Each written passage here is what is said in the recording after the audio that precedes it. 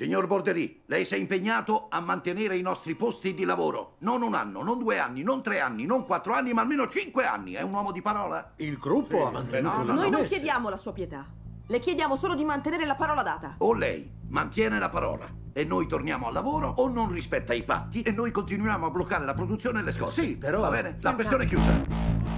La giustizia in questo giorno è qui per dire no alla chiusura della fabbrica. La Costituzione sancisce la libertà d'impresa, il che vuol dire che il proprietario può aprire o chiudere un'azienda. L'azienda ha prodotto 17 milioni di euro di utili. Abbiamo un amministratore delegato che dice a un ministro andate a farli fottere, faccio come mi pare. Non è mai abbastanza, non gli facciamo mai guadagnare abbastanza soldi. Come finirà questa storia? Che ne sarà degli operai? 1100 persone senza lavoro, intere famiglie, bambini, padri, madri e neanche una parola!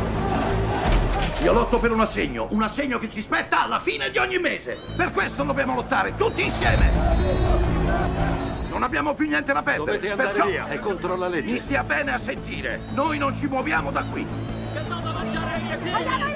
Finita, la fabbrica è chiusa.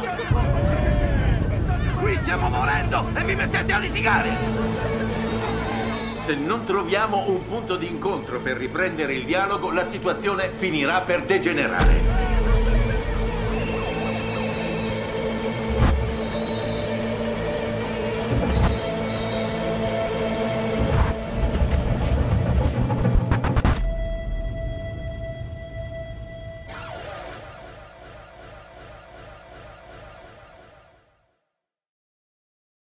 Ciao ragazzi, oggi ho un'interessante curiosità sul dietro le quinte del film Il Signore degli Anelli.